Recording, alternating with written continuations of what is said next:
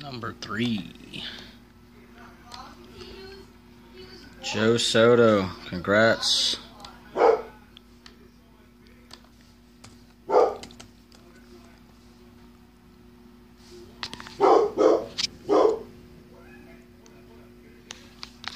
Thanks a lot, everybody.